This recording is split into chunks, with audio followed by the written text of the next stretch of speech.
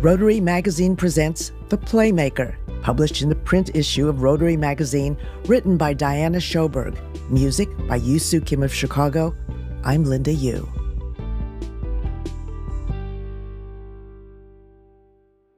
It's a frigid January night, the second in a row to dip below zero degrees Fahrenheit in Chicago. Schools are closed, events canceled, flights grounded. Outside, an Arctic blast is howling, but inside Stephanie Urchick's condo, the party is sizzling. Urchick wears jeans and a Pittsburgh Steelers t shirt with a Magic of Rotary pin affixed.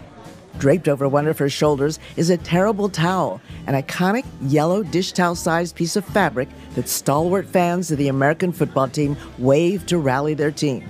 The occasional cheer or groan punctuates the party's chatter. This playoff game between the Steelers and the Buffalo Bills has already been rescheduled once because of the dangerous winter weather sweeping across the United States. A group of Rotarians visiting Rotary headquarters was stuck in suburban Evanston because of a flight delay, and Urchick, the 2024 25 Rotary International president, invited them to watch the game with her. To call Urchick a sports fan might be a Hall of Fame worthy understatement.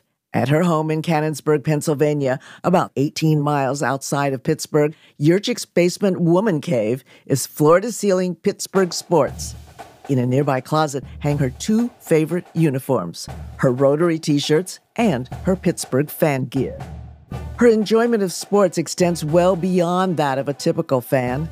One summer, she assisted with character analyses for Canadian Football League scouts, attending NFL training camps to watch for players who might be cut that would be a good fit for that league. She also participated in a women's training camp put on by the Steelers and run by former players. Her experience was cut short after she snapped her Achilles tendon doing footwork drills through car tires. Didn't matter. It was just a fun, fun summer, she says. She met the vice president of the Steelers, Art Rooney Jr., when he spoke to her Rotary Club. Afterward, she brought him some chocolates from Sarris Candies, a well known confectionery founded in Canonsburg. It's a tradition she's continued to uphold a few times a year, the two united by their love of the game. That kind of connection is what's happening at the party tonight. Urchick met Renee Laws, 2023 24 governor of District 7610, Virginia, when they sat at the same table at a president's elect training seminar and their mutual love of the Steelers came up. Ever since then, we would see each other at events and we would always have football and Rotary to talk about, says Laws. Life couldn't be better unless the Steelers were actually winning, which unfortunately is not the case. Not tonight. The Steelers lose the game 31 17, and that's the end of their season. But for Urchick, it's just the beginning. Only this year, Urchick will get her own chance to head up a winning team Rotary. A few weeks later, Urchick gathers with family back in western Pennsylvania for the birthday of her eldest cousin, Michael Hatalowicz. The two grew up like siblings, always at each other's houses, and they still tease each other as if brother and sister. The dozen or so gathered, cousins and their spouses, children and grandchildren, sing happy birthday, first in English and then in Slavonic, harmonizing to Nohayolita, a traditional Carpatho-Rusin birthday song whose title means many years. Urchick joins in, her voice clear and strong. Music has been a touchstone throughout Urchick's life. Her dad played the accordion and led a polka band, the Harmoniers, for more than 35 years. I learned to polka before I learned to walk, she says. Urchick was a singer with her father's band, and when she's in town, she sings with the Eastern Orthodox Church Choir, directed by another of her cousins. You know how some families get together and play cards? She asks. My father was a musician, my grandmother, my aunts. They were all singers, so when we got together, we sang. Urchick grew up here in western Pennsylvania near the border of West Virginia, a countryside of forests and farms in the foothills of the Appalachian Mountains. Both her maternal and paternal grandparents moved here from Eastern Europe, Poland, Slovakia, and Ukraine, settling down to take advantage of the jobs in the region's coal mines and steel mills. Urchick's culture and her family remain important to her. Spend a bit of time with her, and you're likely to hear stories about her visits to meet distant relatives in Eastern Europe and family lore involving a misunderstanding around beets and the powers of a patron saint. She gathers regularly with Hatalowicz and her other maternal cousins who live nearby, and she gets together with her more far flung paternal cousins for an annual trip. Western Pennsylvania is part of what was once known as the Steel Belt for its steel mills and coal mines, though it's now called the Rust Belt after the decline of those industries in the 1970s and 80s.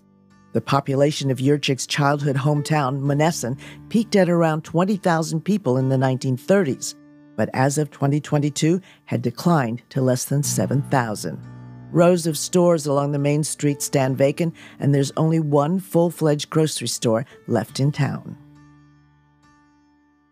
As a child, Urchick devoured Nancy Drew mystery novels and dreamed of being a spy.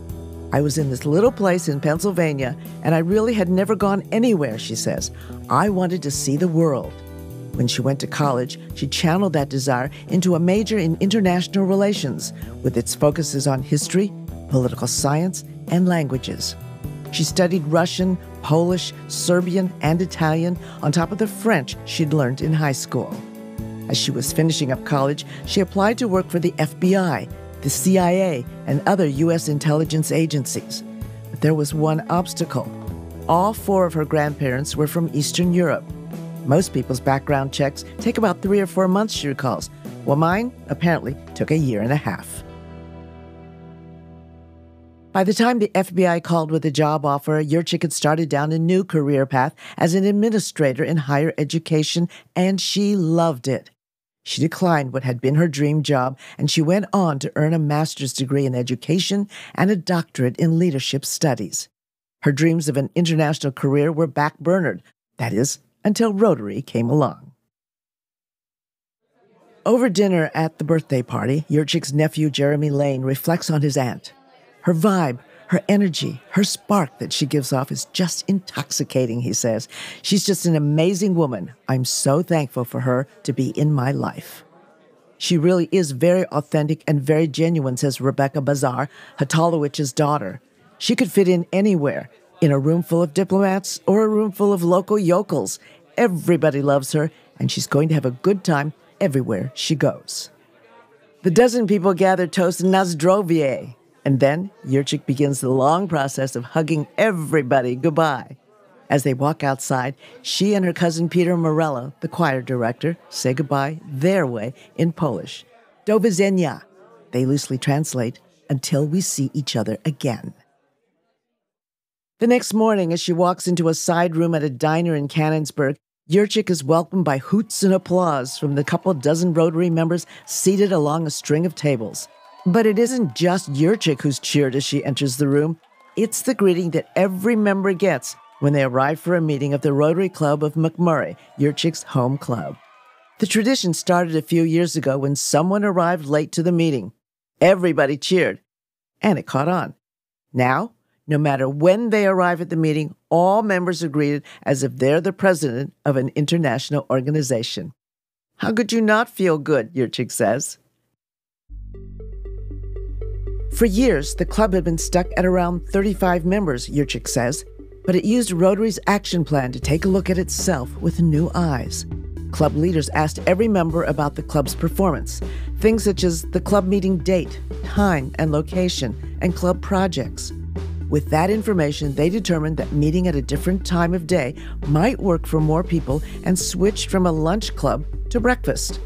Instantly, and I mean instantly, we had two new people come into the club, Urchick says. They said they were invited before, but could never come. The club didn't stop there. Members talked to other groups in the area and found people who wanted to serve but didn't want to attend club meetings. Looking into options, club leaders started a satellite club for people to do just that. The concept brought 15 new members to the club. They pay full dues, Urchick says. We don't discount anything, but we also know they're not coming to weekly meetings. Instead, they hold PBR nights, referring not to the familiar monogram of the American beer Pabst Blue Ribbon, but to pizza, beer, and Rotary. This morning's meeting is vibrant, full of lively conversations and bursts of laughter. The club is, to borrow Urchick's catchphrase, simply irresistible. It makes my job easier talking about being a Rotarian in an active club, she says. Being irresistible means the experience is so compelling, so fun, so dynamic that people are drawn to it and don't want to leave, she adds. At the bottom of that is the whole concept of belonging. Is this the kind of group I want to belong to? That was the question Urchick asked herself in 1991 when an acquaintance walked into her office at the California University of Pennsylvania and asked if she'd like to go to a Rotary Club meeting. Urchick didn't know much about Rotary, but she was recently divorced and looking for ways to meet new people. And when the woman mentioned Rotary's internationality, something clicked. When she went to her first meeting of the Rotary Club of California in the town south of Pittsburgh, she met Chuck Keller, a member of the club and Rotary International's 1987 88 president. He introduced himself, and we got to be friends quickly, she says. I had a built in Rotary godfather. It was amazing. Urchick was drawn especially to the work of the Rotary Foundation, becoming first the foundation chair for her club and then for her district. Later, at the zone level, she served as a regional Rotary Foundation coordinator focusing on fund development. Her work with the foundation meant more people got to know her and led to a 5 a.m. phone call in 2012. Her name had been put forward to replace Ann Matthews as a Rotary Foundation trustee. Matthews left her post to join the Rotary International Board of Directors. Later, Urchick became a director herself and led the organization's strategic planning committee a role that proved pivotal to shaping her thinking about how to move Rotary into a thriving future. Given Urchick's background in international relations, her interest in peace as another of her priorities as president likely comes as no surprise. She encourages living the four way test, investing in a positive club culture, and engaging with Rotary Peace Centers as some of the ways members can help spread the message of Rotary's commitment to peace.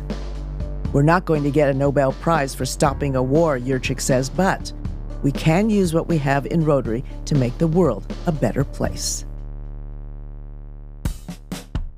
One of the pillars of Urchick's peace push is, well, a pillar.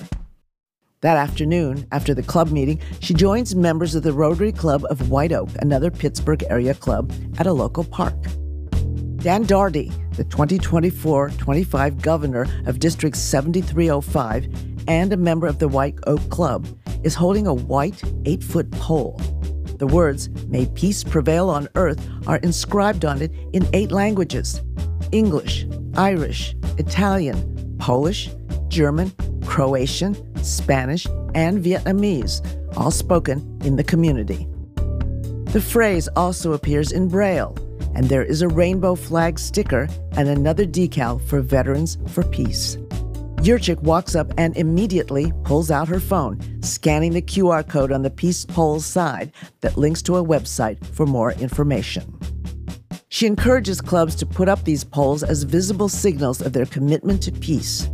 Daugherty's wife, Autumn, who is also a member of the White Oak Club, has made it her goal to get every club in their district to erect a peace pole in the coming year. When the last White Oak Club member arrives, everyone clusters around Urchick like players huddled around their coach during a crucial timeout.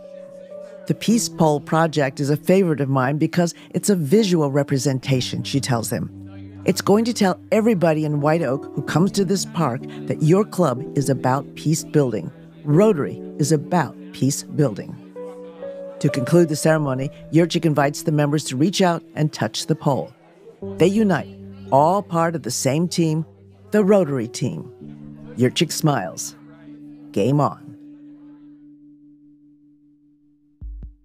This episode of the Rotary Voices podcast was produced by JP Swenson and edited by Wen Huang, with production by Yusu Kim. I'm Linda Yu. If you enjoyed the show, please rate us five stars on Apple Podcasts and Spotify. This article by Diana Schoberg originally appeared in the July 2024 issue of Rotary Magazine, the official monthly publication of Rotary International.